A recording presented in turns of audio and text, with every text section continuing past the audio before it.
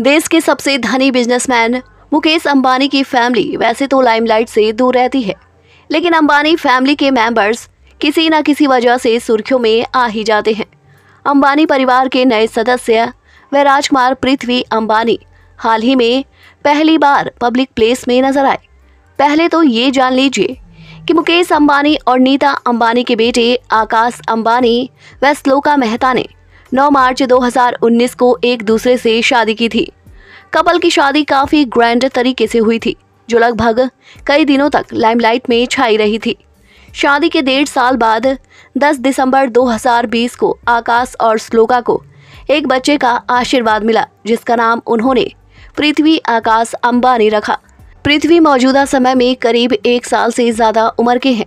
Social media पर पृथ्वी की झलकियाँ बेहद कम ही देखने को मिलती है।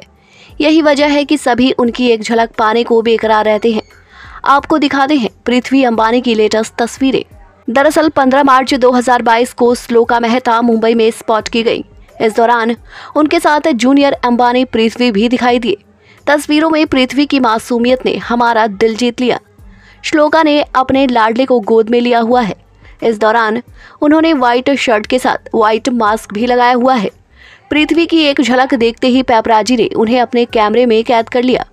इन फ़ोटोज़ के सामने आने के बाद से ही फैंस छोटे शहजादे पर जमकर अपना प्यार लुटा रहे हैं। दोस्तों, आपकी इसमें क्या राय है? कमेंट में ज़रूर लिखें। साथ ही ऐसे और भी अपडेट पाने के लिए हमारे चैनल को सब्सक्राइब ज़रूर कर लें।